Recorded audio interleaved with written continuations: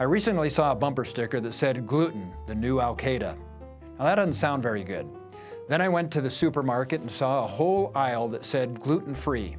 There was everything from brownies to pizza. The only thing missing was gluten-free water. Even if you didn't know what gluten was, you'd want to avoid it just in case. So what is this stuff that's so sinister? Gluten is a compound protein that is contained naturally in a number of vitamin, mineral, and fiber-rich grass-based grains, especially wheat, barley, rye, and oats. It also is isolated and used as an additive to protein-enrich some foods. It is what makes dough rise and hold together and become chewier. There are a few grains that do not contain gluten. Most noticeably are quinoa and millet. For the vast majority of people, gluten is healthy and useful. However, a small but increasing number of people have a sensitivity to gluten, which is actually classified as an intolerance as opposed to an allergy. It can range from mild, almost imperceptible, to life-altering, even life-threatening full-blown celiac disease.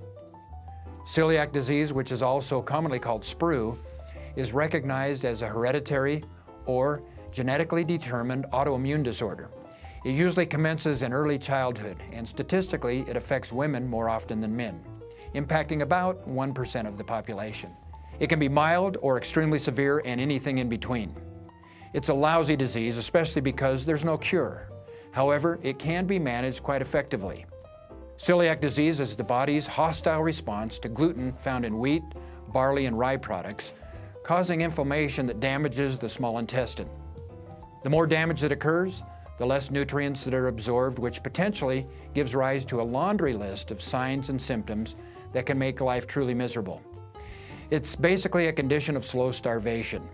This faulty absorption of nutrients can cause abdominal pain and bloating, diarrhea, weight loss, anemia, fatigue, muscle wasting, osteoporosis and fractures, hair loss, damaged teeth, infertility, cancer, anxiety, and depression. In fact, the New England Journal of Medicine lists over 50 diseases that can be caused by eating gluten for those that have this condition. Does that sound like a good trade for a couple of cookies, a slice of pizza, or a piece of toast? Besides noting these symptoms, celiac disease can be confirmed through blood test, endoscopy, and biopsy. Presently, the only effective treatment is a religiously followed 100% gluten-free diet for life, supplemented with superior nutrition, vitamins, and minerals. As mentioned, there are those who are gluten intolerant without having the full-blown celiac disease, but the recommended treatment is exactly the same. For those that are sensitive or test positive, there is precious little benefit to eliminating just some gluten, as even trace amounts can be damaging to the intestines. So it's basically an all or nothing if you have the problem. That is actually more difficult than it sounds because gluten is also hidden in a variety of products, from ketchup to ice cream to salad dressings. It's even in cosmetics. In the last 50 years, the incidence of celiac disease has increased by some 400%. Why is that? It appears that it is in direct proportion to the introduction of genetically modified grains, which also alters the gluten content. Of course, the best way to deal with this sad fact is to use only USDA organic or certified non-GMO products.